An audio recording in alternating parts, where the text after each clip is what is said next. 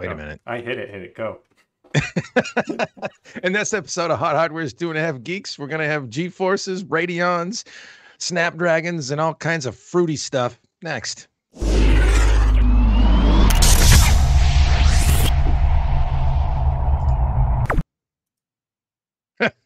Welcome back to yet another fine episode of Hot Hardware's Two and a Half Geeks, where we're a little twitchy today. And uh, Chris kind of gave me a surprise attack there on the tease, Chris. I'll get you for that, buddy.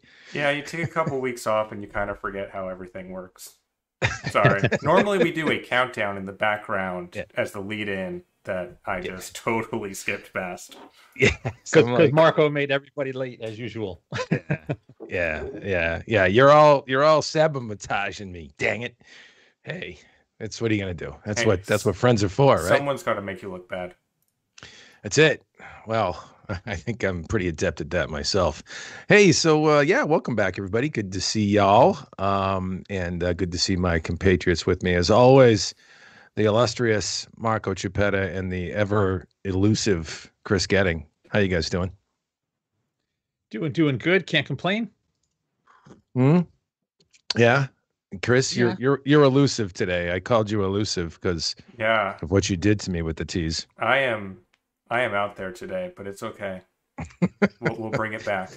We'll blame we'll blame it on the uh, the uh, pandemic. That's what we'll do, and uh, and and go from there. Yeah. So Marco's been grinding. I've been grinding. It's it's been a busy busy Q4. Um, thank God it's almost done. Um, we're we're warming up for CES, which is going to be virtual and digital and all kinds of not in person.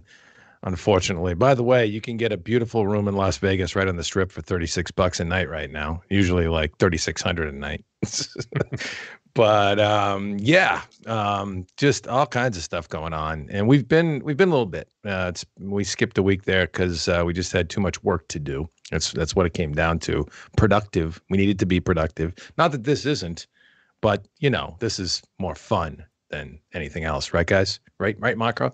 You having fun? yes, it's uh, it's pure fun. That's it's all it could possibly be is fun. That's it. That's it. So, uh, what's new and exciting in your lab, your neck of the woods right now? Before we dive in, and then we'll uh, we'll talk about the headlines and the reviews. But you got anything exciting going on? Anything brewing that uh, you can tease the folks out there? Brewing, yes. We just launched 6900 XT yesterday. MSI sent this little tiny thing. See if I can get that to focus. Oh, baby, That is their uh their top of the line Supreme. RTX 3080. So Mm. this thing is is huge. Yeah. I actually had to um, remove the drive cage in my test rig because the card was too big. It's the first card for like I want to say five or six years that I've been using these NZXT cases that I couldn't fit a GPU in there. Man, that is a big honking graphics card. My goodness, better Yes. be powerful. That's all I can say. So that's a that's an OEM 6900 or 6800. No, 3080 RTX 3080. Oh, it's a 3080. Oh, Yeah. sorry, sorry, sorry. I, I got had Radeon on the brain there for a minute because I was going to show this. This is what I did today. Um, I, I did a bit of a transplant. Let me see if I can get it to focus here too. Hmm, hang on. Yeah. Anyways, it's a Ryzen 9 5900, uh, 5950X box. It's not an Xbox. It's a Ryzen 9 5950X. And uh, I just got through transplanting that into the system that is powering my feed right now, my workstation. Uh, upgrade from a 3900X. And dang, it's pretty spiffy. I'm working on a video for that, so stay tuned to you can see the you can see the lobotomy I gave the machine, the brain transplant. And uh, actually, yeah, it wasn't a brain transplant, it was like a bionic implant of 16 cores of glory. So yeah, that'll be fun. Chris, you got anything going on before we dive into the headlines? Um, it's it's my main job keeping me busy right now. Uh, so I haven't been able to play too much in the tech stuff, though I did get myself a nice new 27 inch 1440p 144 hertz monitor from LG. Um, so I've been enjoying that. Um, maybe I go. can spin a little review on it. We'll see, because it's the it's the new 27GN850, um, which the GL850 was a very popular monitor, very high performance, very good color. Um, and this is at least LG says it's the same panel, um, basically the same monitor, just without the USB hub, and you save a few bucks on it. So, um, impressed with it so far. I, you know, LG makes great stuff. Uh, I have a 38 inch panel staring at me right now, um, which is a 175 hertz with G Sync. Um, beautiful IPS display. Yeah, good stuff. 3860 by 1600 res on mine. Um, so uh, let's dive in, shall we? Let's talk about the news real quick. We'll run down a couple of interesting tidbits. Not not so much the news, some some feature stuff, um, interesting tidbits that uh, you should check out when you get a chance, and then we'll dive into the the deep dive stuff. Uh, talking about LG's Wing, the LG Wing review, a solid 5G phone with a wild twist. Check that out. I'm gonna drop a link in the chat now. Um, Chris, I don't know if you can bring that up, but it is a pretty wild phone. As you can see, uh, the display flips and twists and into a T. They call it the wing. Um, I'm not sure what's wingy about it. It's kind of a wing in that shape, I guess, right? Um, but wild Android from from the folks at LG and um, Miriam Joie did a review for us on this. Found it compelling. Found it like really, you know, kind of frivolous, but also really cool. And you're going to admire the thing. It's huge, as you can see, as well. Marco, any thoughts on that before we uh, move on from it? Just just dropping a tease on this one. Yeah, pretty pretty interesting form factor. I'd have to play with it. Like I can see it being cool if you're, you know, if you, well, nobody travels a lot now anymore, but if you traveled and, you know, you wanted to be able to answer emails on the lower display while you're consuming media on the top display, I could see it being cool. But other than that, it just seems like a funky form factor when it's open. But the cool thing is it only adds a couple of millimeters uh, in width. So I, I don't know. I'd have to experience it firsthand. I, I can't make up my mind on that thing. Hey, let's put mm. that in productivity terms. You can have your Zoom meeting on the top screen and take notes on the bottom screen. Then it's a work. There you go. There you go. There you go. You can justify it that way. Someone, someone's complaining that I need to start a already in the chat. Uh, I need to start a GoFundMe for a camera. It did. Is Mike? Is my feed we bad? Got Marco laughing. Uh, I, I, I no. So that that's my buddy Ray, and um, I, I, I you... may have I may have bought another camera body and I'm testing oh. it now. And oh. and Ray might be jealous of the one I'm testing. Oh. So he, he's oh. messing with everybody. So you're telling me it's an inside a, joke. You have a new secret test camera that you haven't even told me about. Because it's it's I, another I thought, Olympus, and I don't want you guys to make fun. Of it. I thought there was a connection. Oh, God, you're such a you're you're you're now addicted. You're we've created a monster. It's, yeah, it's right. my fault. But yeah, fun fact: Dave and I are actually using the same camera, but yes, right. Um, but, it's it's Canon's USB limitations that are chopping yeah. us off. Yeah, DSLRs. We did up our visual game, so I was hoping that wasn't a shot at me, but it was more of a a shot at Marco, I guess. And let's let's drop something else into the chat that you should check out. Hot Hardware's um, 2020 DIY system guide by the illustrious Ben Funk does a fa- fantastic job for us on this. Um, and uh, so, recommendations on PC components um, that uh, hopefully you can acquire. Uh, if you're a do it yourself type, you want to build a new system, uh, we go through a good, better, best, and monster killer gaming rig configurations um, recommendation, kind of a menu list. Um, check that out. Good stuff. Um, I don't know if you have any words of wisdom on that, Marco, but um, Ben usually does a great job and knows his stuff.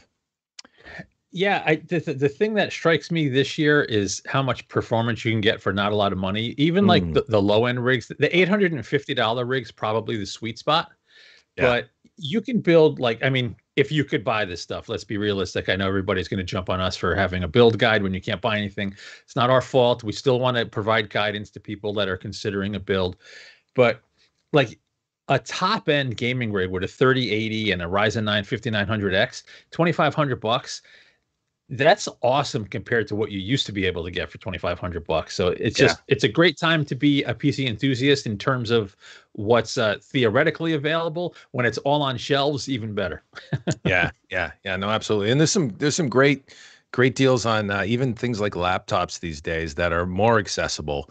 Um, we had a deal post go up today that was pretty cool on a Lenovo laptop. Um, it was a Tiger Lake machine, 512 gig um, SSD, 12 gigs of RAM for like $650, you know? So fully decked out. I'll drop that in there.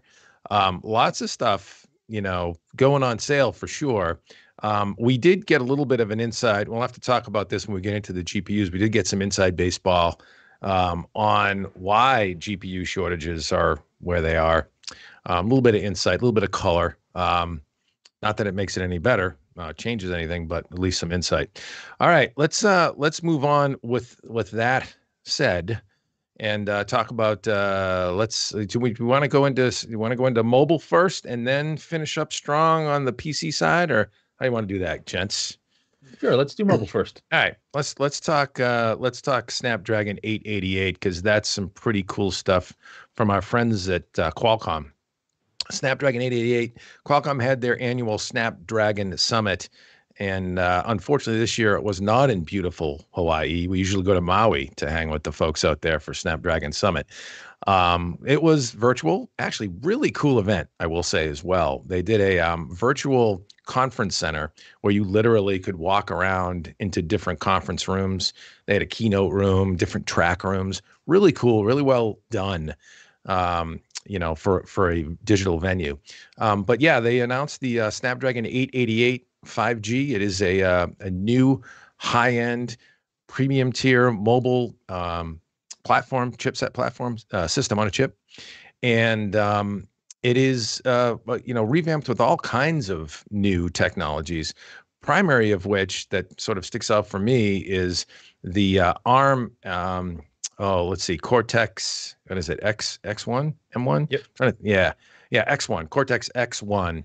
Um, prime, you know, performance core, and then it has Cortex A78 um, uh, power cores as well, um, and then A A55 efficiency cores. So you've got one and three. So one Cortex X1 for super, um, you know, burst performance, and then three A78s for you know crunching through uh, multi-threaded workloads, and then A55s a quartet of those. Still an octal core design, but carved up in a one, three, four um, configuration. They are claiming with an with a new um, Adreno 660 GPU, they are claiming 25% better CPU throughput, uh, 35% better GPU performance, I believe, and all kinds of uh, additional kickers for things like AI and machine learning, which is becoming more and more prevalent on the handset these days. Whether you talk about uh, image processing, um, recommendation engines, recommenders, um, you know, whether it's Google or whoever um, you're talking to to get, you know, your digital assistant. Um, really impressive stuff.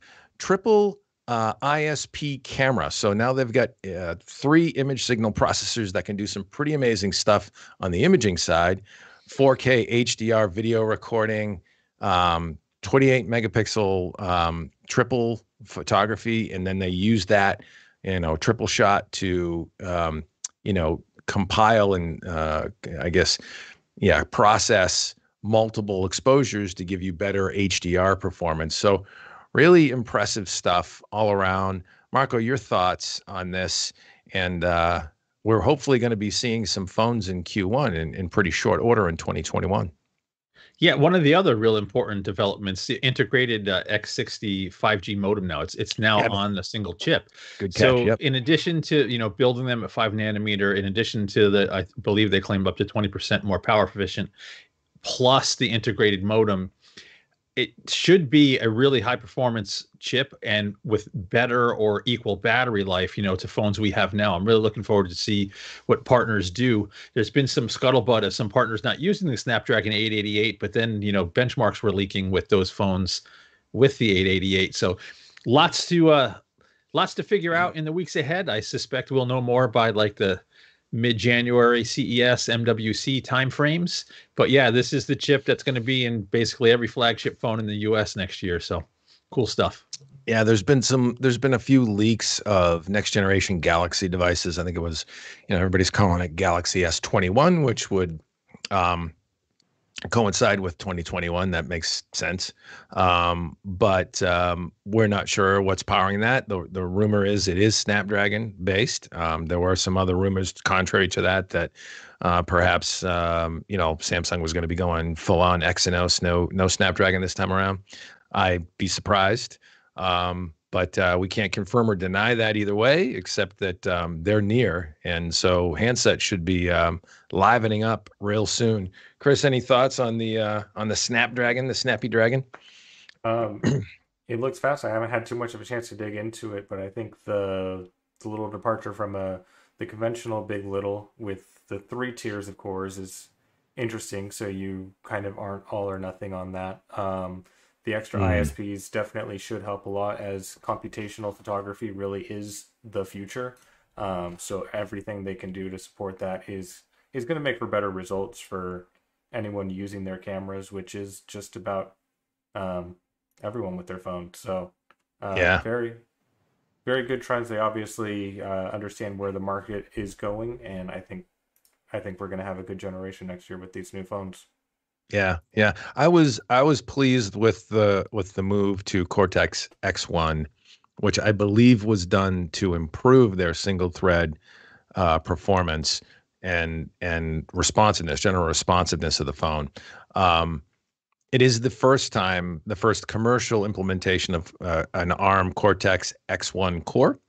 Um, so that's going to be interesting. I want to see how much they close the gap, frankly, with Apple um, mm-hmm. in in some of the performance tests because that could be uh, could be a differentiator. Um, they've always had fairly strong multi-core, um, but single core is where they've where they've trailed. And then of course it will be interesting to see the Adreno 660 and how that performs on the uh, graphics side. So good stuff.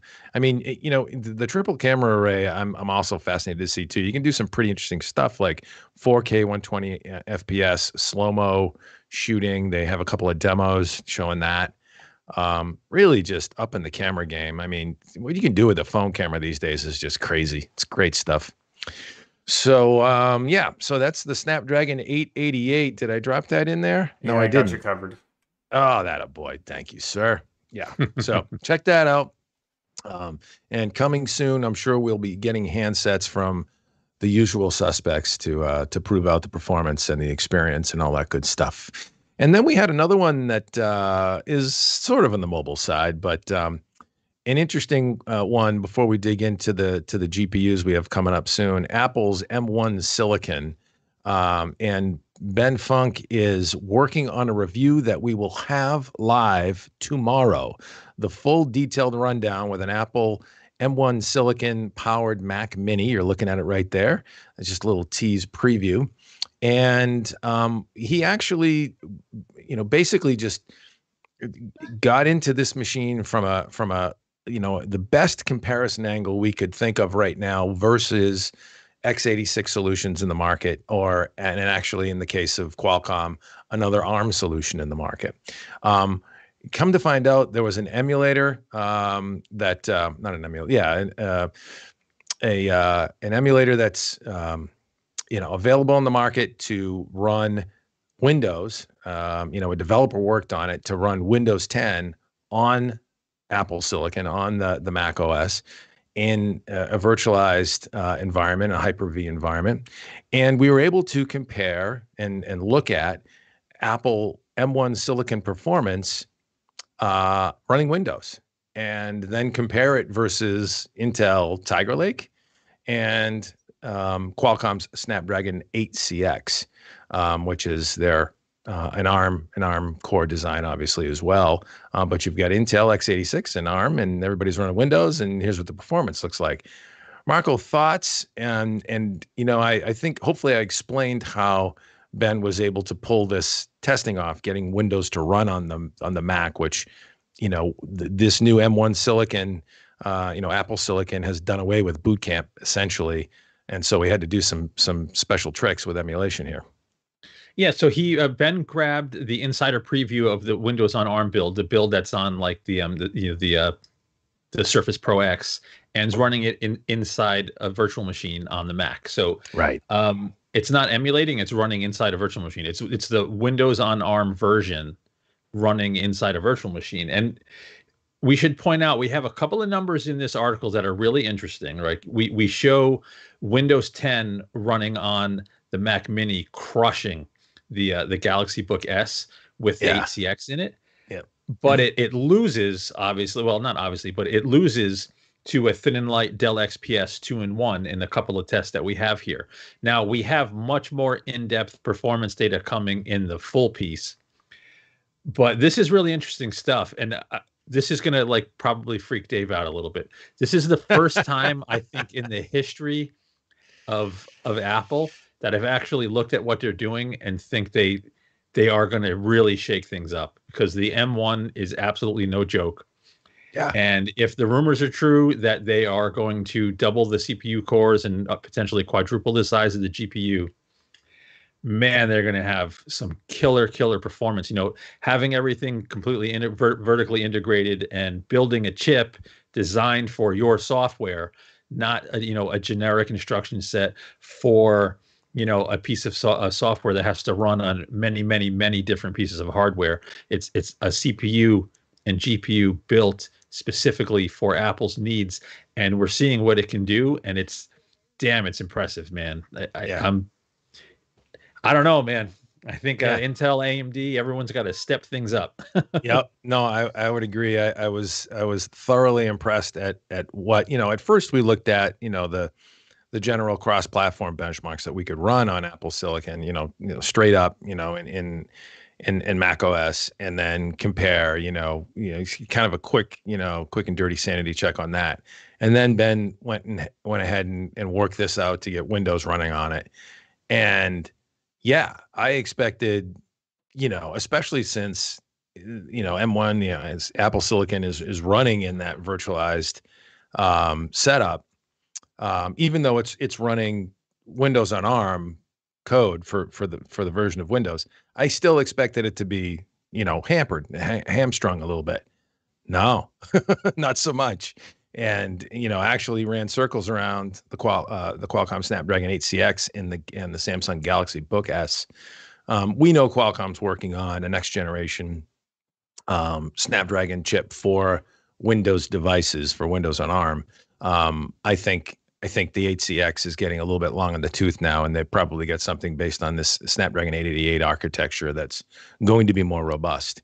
But yeah, it is no joke. Uh, you know, we we kept poking holes at it, going or trying to poke holes. You know, where's it going to fall down? It hasn't fallen down yet.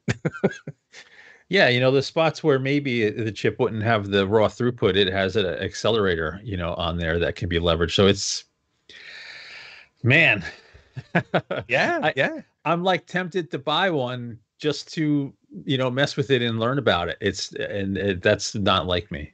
Yeah, yeah. well, I mean, I think we've all dogged Apple for a long time about not innovating as much as they used to. You know, they haven't had quote unquote the iPhone moment. Um, you know that the original iPhone had that really reshaped the landscape for for for handsets. And you know, we've been sort of, hey, you know, Apple's playing catch up, you know, oh, look, you know, this this Mac is still on Intel's last generation x86 and blah blah blah. Well, you know, then we we knew that there was this effort to bring silicon design in house. Um and, you know, we expected that that that was going to be a probably a longer trail than it really was and they are executing the heck out of this now, and it is impressive. And you got to hand it to them; they are innovating.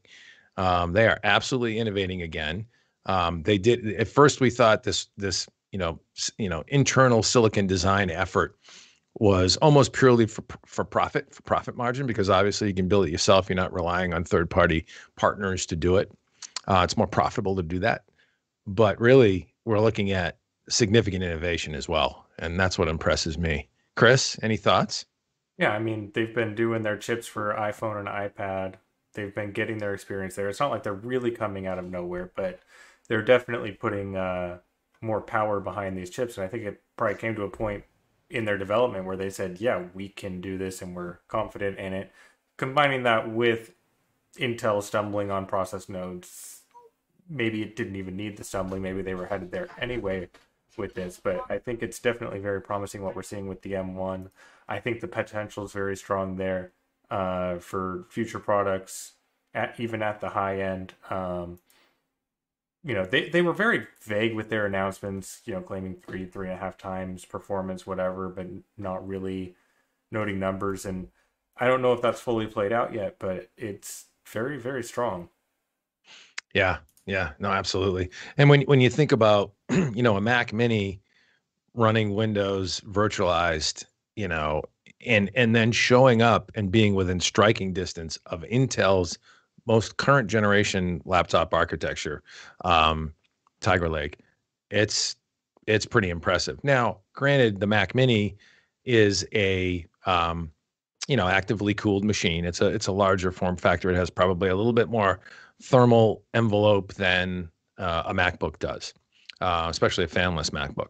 But um, still, it's not that much different than, in this case, Dell's XPS 13 2 in 1, which is also actively cooled, but in a two and a half pound notebook.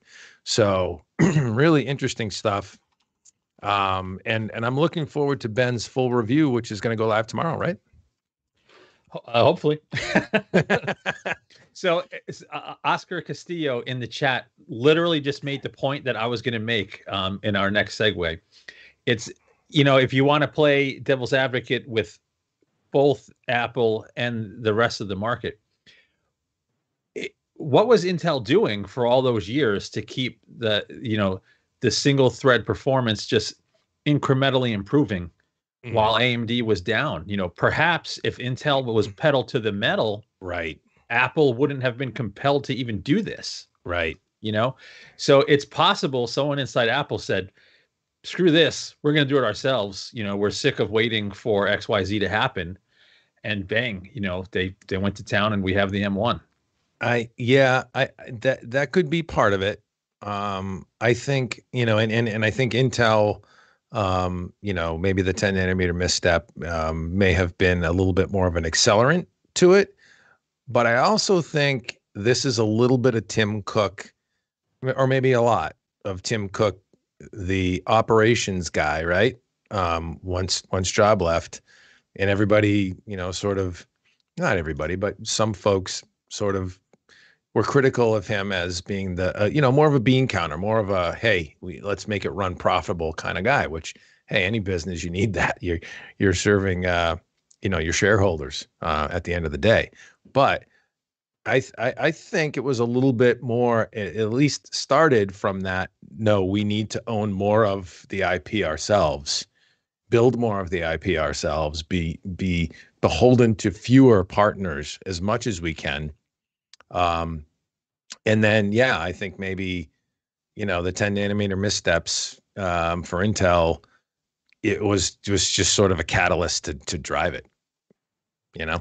Entirely possible. Yeah yeah, but yeah, I mean, heck, who knows if we had if we had more competition, you know, back in the day, uh, maybe maybe the x86 solutions would have been enough to keep keep Apple uh, on the train. But man, you know, they did it before. It used to be that.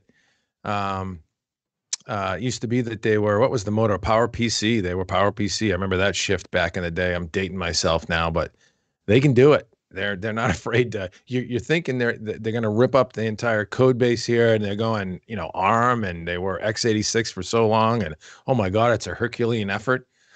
Oh, yeah, they're already doing it. well, they, they, well they had the phones. You know, they had so many years with yeah. the iPhone to yeah. tinker. You know, and um, you know, uh, Blackhawk in the chat just made another interesting point. And this is something else rolling around in the back of my head. You know, Nvidia licenses ARM tech to compete with Apple. Yeah, I think if nvidia ends up with arm you see what apple can do licensing the arm instruction set. Mm. i think nvidia could do crazy things. Rush it. Um, yeah. yeah so we'll see. Yeah. It's going to get real interesting real soon and, and you know it's going to take uh you know probably better part of a year from now uh, for that transaction to go through. Um, the nvidia arm acquisition if it goes through i mean it still needs to be you know blessed by regulatory bodies globally um, so that's a long that's a long haul, but I have some confidence there. I think Nvidia's got some pretty crack M and A folks that'll get that done. But man, yeah, it could get interesting. and I also think as as workloads move more and more to towards web based solutions, RISC is more than capable of handling these versus the full x86 instruction set. So you can Yeah. use ARM's advantages of being more power efficient, being more mobile first um, than the Big Iron x86 without really losing that user experience in most cases. Yeah, it used to be the RISC versus CISC argument was was valid, and I'm sorry think about ARM dead. 60. Yeah, ARM 64 and all that. It's it's you get some pretty pretty big pretty, pretty big horsepower, and certainly Apple has made a silicon bet on it. So cool stuff. Good to see. Keeps guys like us busy. we'll be we'll be we'll be uh, we'll be looking at uh, all kinds of ARM architectures in the future. I think if Nvidia has anything to say about it. I think so. All right. Well, let's move on. Let's move on to NVIDIA, actually, something NVIDIA. Uh, and then we'll finish up with uh, the 6900 XT. But let's talk about the GeForce RTX 3060 Ti. Um, Is this it? Yeah, Nope, man. Oh, you going to get it? Oh, okay. I, I, I, I forgot to grab it, and I'm, I'm reaching back, but the, it was the 3070 in the stack, Ah, not the 30. yeah. So, So, yeah, I'm not going to grab it. All right, well, here it GeForce. RTX RTX 3060 Ti. There it is. That's the Founders Edition card. Really love that cooler design. Well done, Nvidia. That is that is my favorite cooler design in since I can't remember when. Just a great great design. Um, interesting. Uh, let's see. Price point is what is it? 399, right? Yes, well, MSRP is. Yep. MSRP so if they you can find it. Yeah, yeah, if you can find it. Um, let's see, 400 4,864 CUDA cores, 152 Tensor cores, 38 uh, RT cores.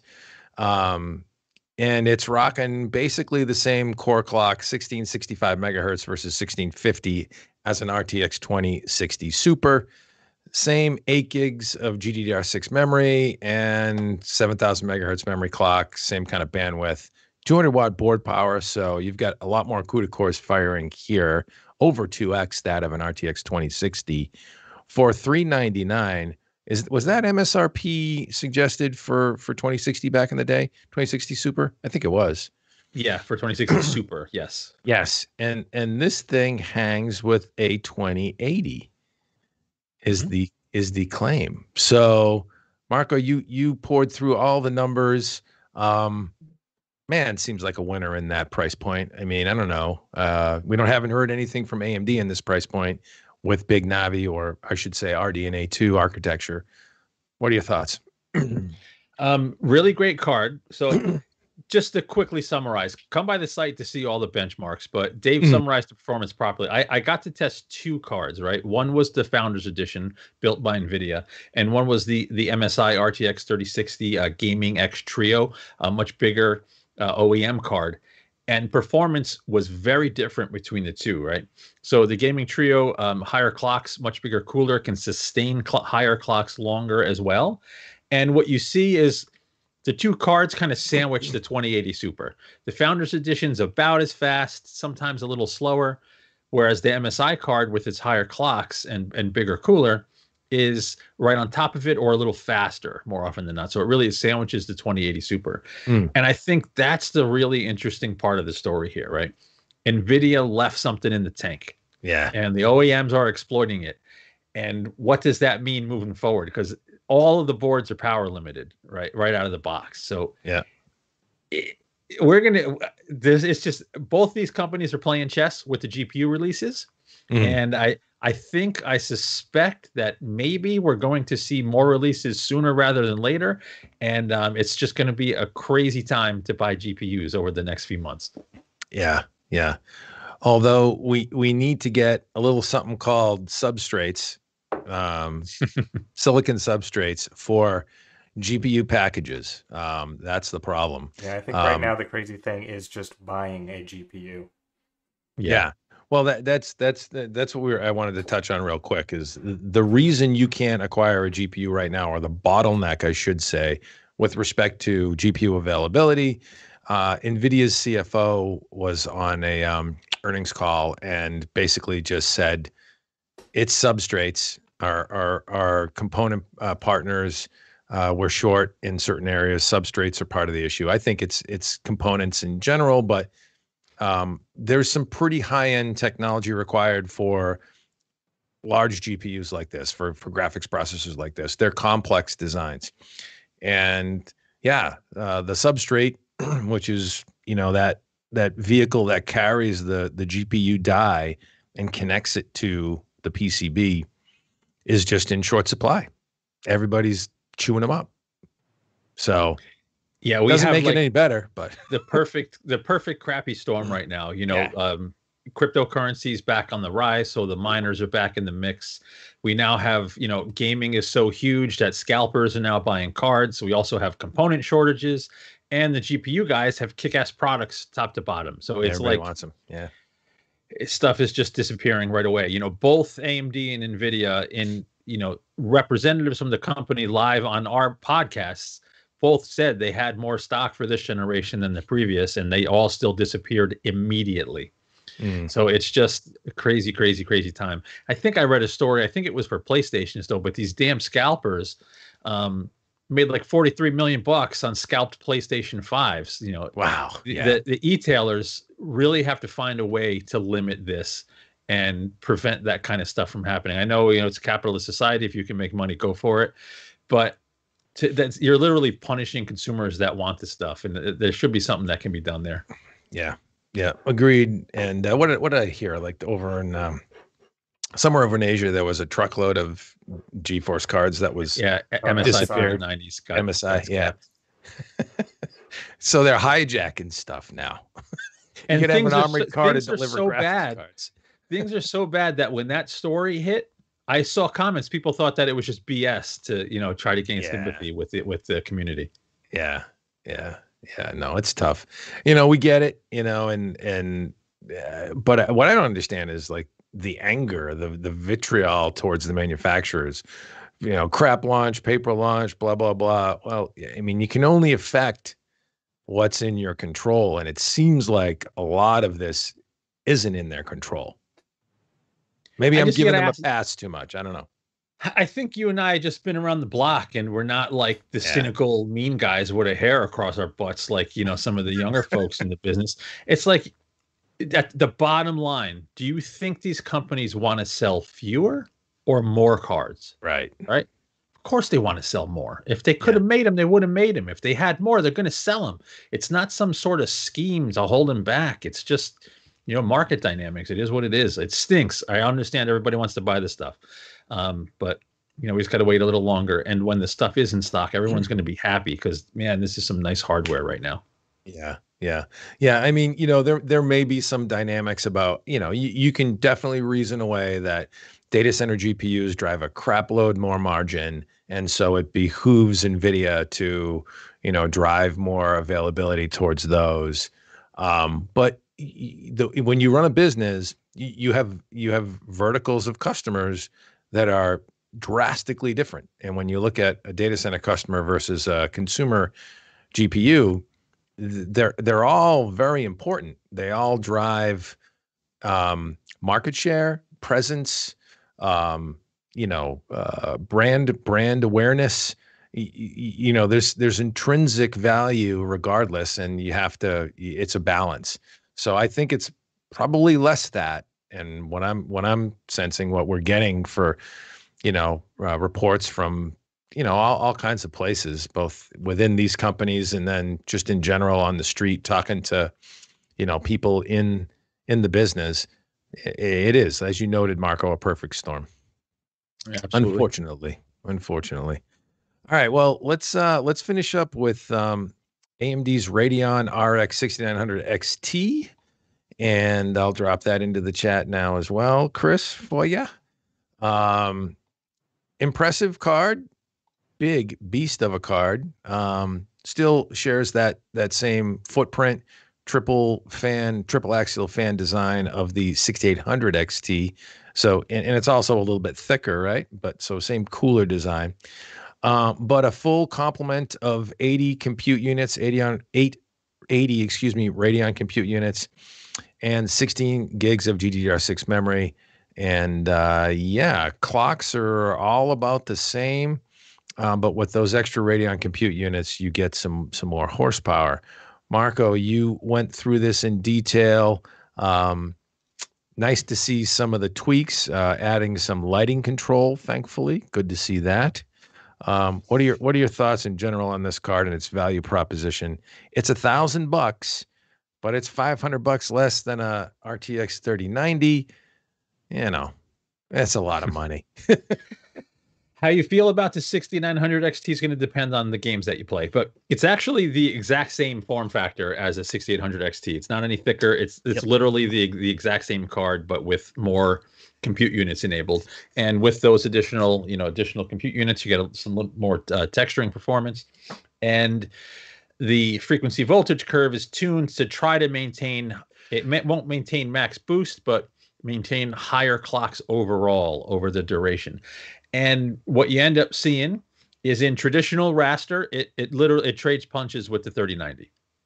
So depending on the title, you could skew the results to all look in AMD's favor or all in NVIDIA's favor. It's really close competition with mm. traditional rasterization. Um, throw ray tracing into the mix, and it's a different story. This is obviously, you know, this is AMD's first gen ray tracing effort, and it's actually a really, really good first gen effort. It this card was beating the 2080 Ti. So had AMD launched before Ampere, AMD yeah. would have had the fastest ray tracing solution, you know, at one point. So it, it does beat the 2080 Ti. It kind of trades blows with the 3070, but it, it cannot come close to it with ray tracing. Yeah. Um, cannot come close to a 3080 or a 3090 with ray tracing enabled. Period. There's no other way to say it. But overall, like it's a really, really strong card. It, it's it's not terribly loud. It's not terribly hot. It's two and a half slot form factor. It's way smaller than a 3090, like yep. way smaller than a 3090. Yep. And I also think that AMD held back a little bit with this card. If you look at the power numbers, it's it's lower power than a 3090. And you, you tick on rage mode, and it ends up catching 3090, a, a, getting a little closer than 3090 in some tests. Mm. But it also overclocks like crazy.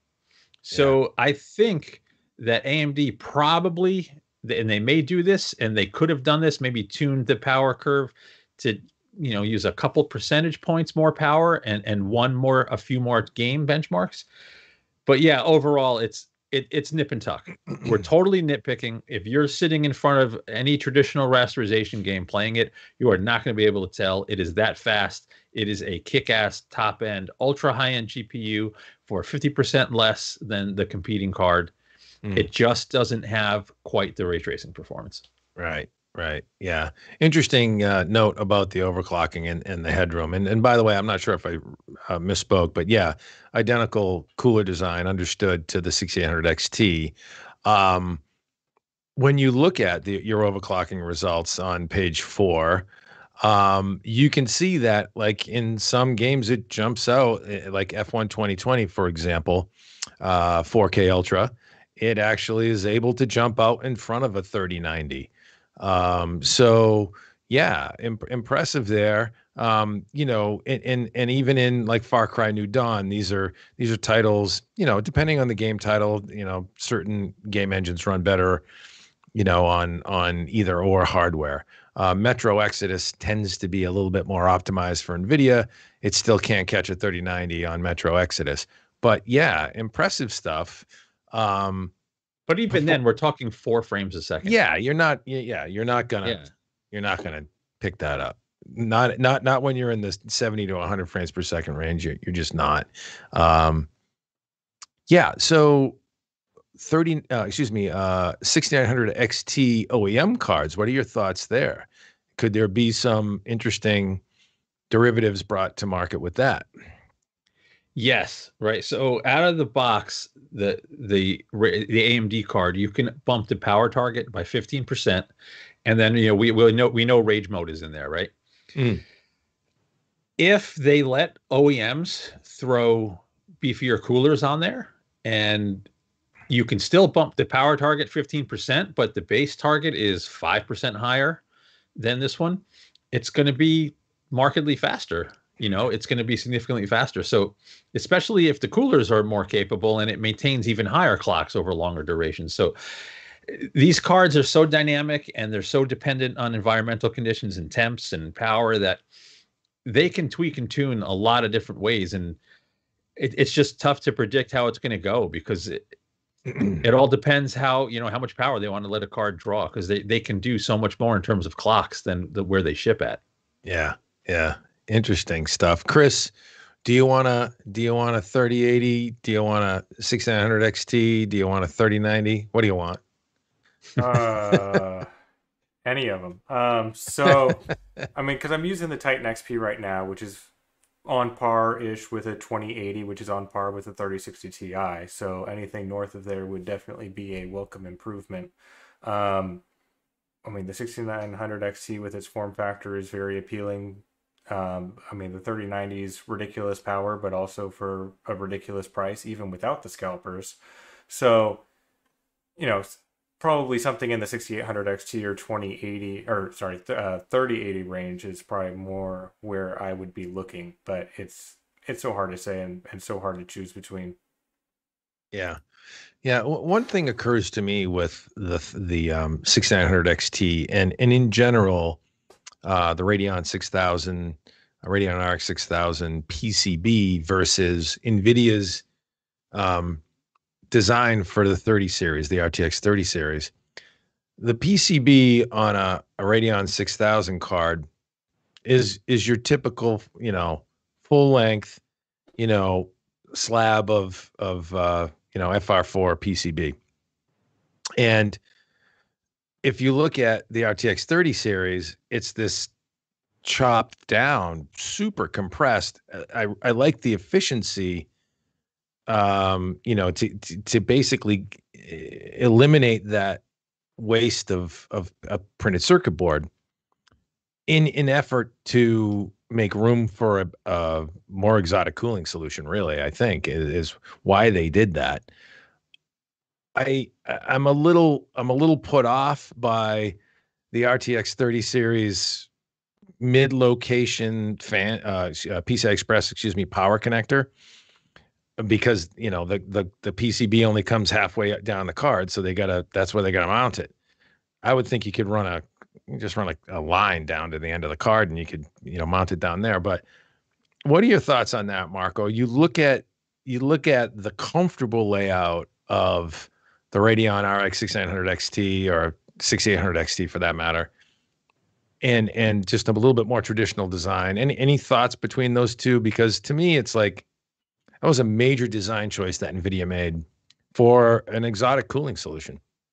Yeah, I don't think in terms of like desktop PCs that it matters much. Maybe you get yeah. some cool ITX form, you know, smaller cards eventually from OEMs for, you know, ITX builds. I don't think it means all that much in the grand scheme of things for desktops, but I think Nvidia is is looking to the future and potentially maybe trying to come up with a form factor that will translate across many different market segments not necessarily mobile because they had mxm and you know mm-hmm. lots of stuff's getting soldered down on the thin and light notebooks perhaps they could come up with a single form factor that works in big gaming notebooks and desktops but i'm thinking more across other market segments where they if you look at uh, amd right what they did with ryzen they developed one die and then an io die and you see what happened right they didn't have to maintain all these different dies mm. and different hmm. designs they scaled it up and down and they're they're rocking right now it's almost like i maybe nvidia's working on a strategy like that where mm. they have this one smaller design that can then scale across all different segments or many different segments uh, i'm mm. completely speculating i don't know i'm literally just thinking out loud but that's what strikes me there because there's they didn't have to make a small PCB for a desktop PC. You know, yeah. So there's I, a, a reason that they did it. I, I think they did it. I think they did it for the cooling solution to to make room for that cooling solution to that that pass through fan. Um, you know, I, th- I think it was a thermal, uh, you know, approach more so but yeah, it's it's it just occurs to me. I mean, you know, I'm looking at it, and you know, you look at the the AMD card. It's very traditional in its design approach. It's very traditional. Its cooling solution. Um, I you know, if if Nvidia's power connector was only at the the back end of the card, it'd be like a total home run because I just love that design. Um, but yeah, you know, here you you look at you look at the you know, for me, you look at the Radeon, and it's almost a little old school now. It's kind of like you know, you get these axial fans, you get the, You know what I mean? Like it's just one big slab of cooler across it. Maybe I'm being critical, but I don't know. But then I look at the PCB itself and it's a comfortable, you can see comfortable routing, probably better signal integrity as a result of that. I don't know. I, I think um, NVIDIA is just like, They just we're going to make the card. We're going to make the card we want to make. We're going to engineer every millimeter of this thing. Yeah. And perhaps AMD's a little more cognizant of their board partners. yeah. Yeah. That's all. That's Yeah. So, think. do the NVIDIA cards look better in a vertical GPU mount where you can just kind of flip the cable behind and hide it a little better? I haven't gone eh, Not- looking not- at not really, because like, nah. even Nah, even if it's sticking up, in the up middle, yeah. vertical, like it, it would just it would be sticking up right out of the middle of the card. Yeah. You know? yeah. yeah. Well, and then tuck immediately behind it. Yeah, I mean you could. I guess it, it would just be a little, you know, a little tiny, a little tiny bump right here, but I'm know. I'm I'm being a little OCD, but that's the one thing that just rubs me the wrong way with that design. I love the cooler. I think it's just it's just a well designed card. I love the the elegance of it, but that one power connector is like get it out of my way. yeah, no, it's all it's all good stuff. We got anything in the chat before we sign off? That any questions? Any burning questions from the folks? no burning questions, but lots of uh, lots of interesting stuff. So as we were on, the news broke that the FTC wants to break up Facebook. So that's kind of crazy. Um, you know, we had Oscar Castillo mentioning, you know, when the Radeon 7 came out, he was able to buy one right away. And same with the uh, 2080 Ti's, but nothing with this generation. Yeah, like like we said, it's just a perfect storm, Oscar. Yeah, yeah, yeah, yeah. And then uh, SpaceX had a had a launch, right? What, what, uh, Chris, can you want to you want to give us a report on that?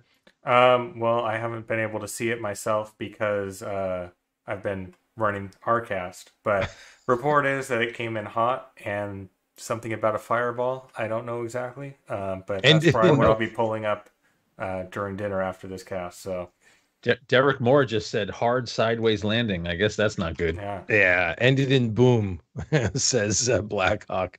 That's unfortunate, but you know, I mean, Elon Musk, he he prides himself in um, failing magnificently when it comes to SpaceX stuff. Right. Yeah.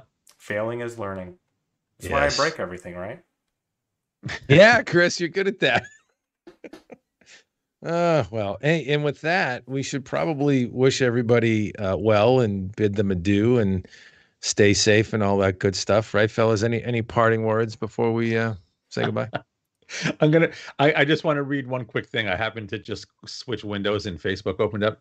It- there was a, an awesome site. It's still a good site. Remember a site BitTech?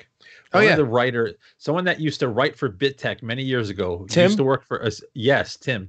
Tim's he a just good guy. posted on Facebook. Elon Musk just literally belly flopped a giant rocket.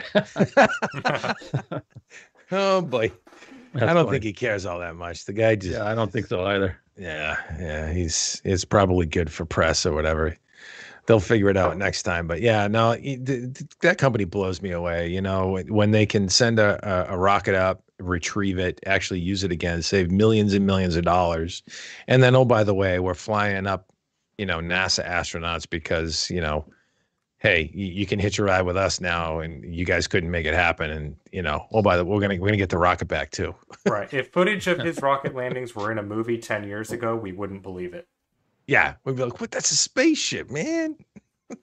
yeah, no, Oh, it's wow. great. It's great stuff. Really cool stuff. I admire the guy and all he does, um, even when he fails magnificently. It's a learning experience. Yeah, yeah, I do that too. I learn quite a bit myself. Hey, and uh, with that, we'll uh, we'll bid you guys adieu. Uh, hit us uh, on the web at hothardware.com, twitter.com slash hot hardware, youtube.com slash hot hardware vids. Thumbs up, subscribe, please. Hit the notification bell. Very important. Let you know when we go live. And because we're not, I mean, we try and be here every Wednesday at 5:30, but sometimes work gets in the way. Uh, we w- would like to have fun with you every Wednesday at 5:30. Usually, that's 90% of the time what we do. Um, and uh, anything else to add to that, Marco? Did I miss anything?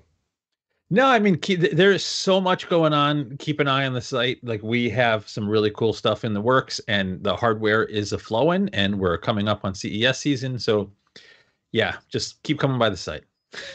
And actually, yeah, I should say keep keep coming by the site because we've got uh, a couple of giveaways coming up too. So um, we're going to be giving away some um, Ryzen goodness, some Ryzen 5000 series goodness. Okay, Zen 3 um, with some exotic cooling to go with it. Uh, not a system, just some component stuff. Um, I think we're going to do some uh, video capture and streaming equipment giveaways as well, maybe with our friends at EVGA. So we have toys for good good girls and boys uh, to be given away shortly Yes, sir. at hothardware.com. Yeah. So uh, and with that, um, we will thank you so much for stopping by. Take care. Be safe, and we'll see you soon.